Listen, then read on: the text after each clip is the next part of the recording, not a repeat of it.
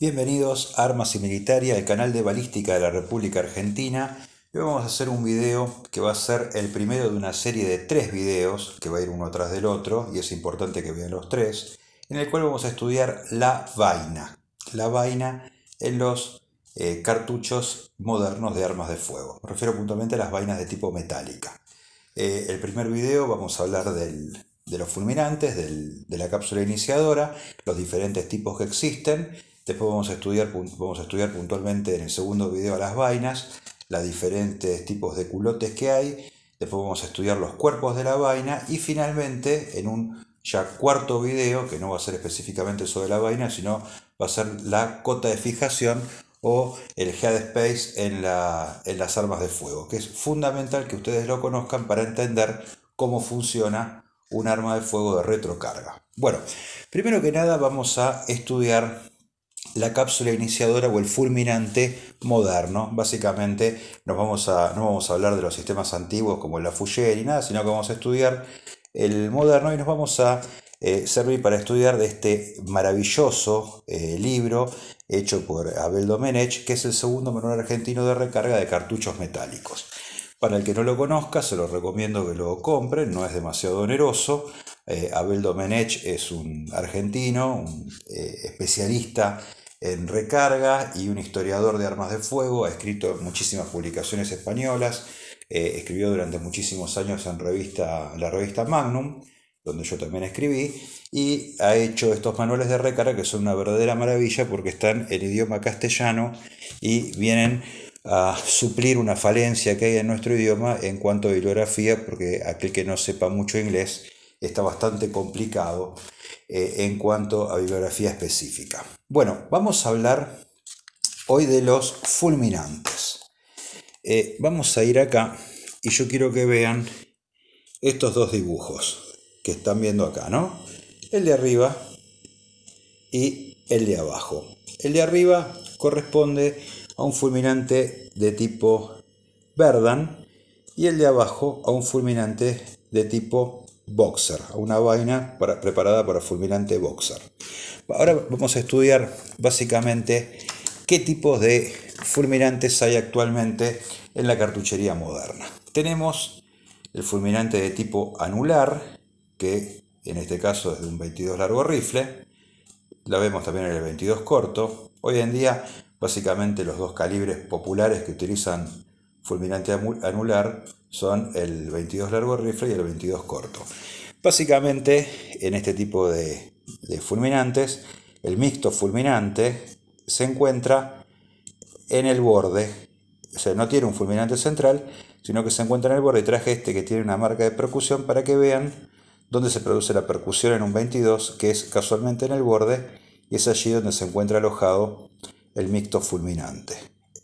Nosotros le decimos fulminante, aunque en realidad se llama cápsula iniciadora, aunque esto no tiene cápsula iniciadora porque es de fuego anular, porque antiguamente se usaba lo que se llamaba el fulminato de mercurio, que es una sustancia que reacciona eh, ante el impacto, pero el problema que tiene es que es sumamente corrosivo, entonces ya se ha dejado de usar y hoy se utilizan mixtos fulminantes modernos que ya no son corrosivos como era el fulminante de mercurio o la sida de plomo. Por eso van a ver que hay muchos cartuchos que dicen no plomo, no mercurio o fulminante no corrosivo. Eso quiere decir que ya no tiene eh, fulminato de mercurio. Pero bueno, de ahí quedó el nombre y es importante que lo sepan. Vamos a estudiar ahora puntualmente el fulminante de tipo Verdan y el fulminante de tipo Boxer. El fulminante Verdan nace en Estados Unidos el fulminante Boxer nace en Inglaterra. Eh, si bien es interesante porque el que nació en Estados Unidos, que es el Verdan, se hizo popular en Europa y el Boxer, que nace en Inglaterra, se hizo popular en Estados Unidos. Como pueden ver, este es el, este es el fulminante, acá está, acá está, este es el Boxer, este es el Verdan. La vaina de tipo Verdan tiene dos oídos, dos oídos, y el yunque, que es donde se produce la aguja percutora, impacta acá, y sobre acá se machuca, para decirlo de alguna manera, el fulminante, se produce la detonación de este, y las lenguas de fuego ingresan al interior de la vaina por estos dos oídos, y a diferencia del boxer, que tiene el yunque incorporado en el propio fulminante y tiene un solo oído central. Desde el punto de vista de la recarga, es muchísimo más práctico el Boxer porque nos permite utilizar las recargadoras modernas sin ningún problema, mientras que el Verdan, como no tiene un orificio central, eh, complica muchísimo la extracción del, fulminante usado para su reemplazo y eh, ha perjudicado muchísimo eh, la recarga con este tipo de vainas. ¿Hasta ahí me siguen bien? Bueno, vamos a pasar a explicar las particularidades de cada uno. Este tipo de, cápsula iniciadora corresponden a lo que se denomina fuego central. Entonces, vamos a mostrar acá con un cartucho de 45 ACP. Esto es fuego central. 9x19, fuego central, 3006, fuego central, 22 largo rifle, anular. Bueno, vamos a explicar las características que hay. Eh, básicamente tenemos lo que se denomina, eh, bueno, como dijimos, Verdan y Boxer, no son intercambiables, son diferentes, incluso hay una pequeña diferencia de diámetro entre uno y otro, que no viene al caso, pero bueno, explicamos que no son intercambiables porque las vainas preparadas para uno y otro sistema son absolutamente diferentes. Las vainas Verdan tienen dos oídos y el yunque incorporado en la propia vaina, y la vaina Boxer tiene un solo oído central de un poco mayor tamaño y el yunque va incorporado en el propio fulminante. A su vez tenemos los de tipo Small Pistol, como este por ejemplo que corresponde a un 9x19, los Large Pistol, como este que corresponde a un 45 ACP, los Large Rifle, como este que corresponde a un 3006 o un 308, y después tenemos el Small Rifle, que no, me traje, no traje ninguno porque me olvidé, que es el que correspondería por ejemplo a un 223 para ejemplificar. A su vez tenemos fulminantes Magnum que se utilizan en cartuchería Magnum y fulminantes estándar. Como estamos dando un paneo general de las características que hay, ¿no? Ahora bien, vamos a analizar el, puntualmente qué diferencias tiene en cuanto al disparo en sí. Bueno, no hay una verdadera diferencia en cuanto al disparo, no es que es mejor uno que el otro, no hay absolutamente ninguna diferencia. Si nosotros no pensamos recargar eh, la vaina disparada, ya no, no, no, no hay ninguna, ninguna diferencia entre uno y otro, no, vamos a notarlo. Eh, los dos funcionan muy bien.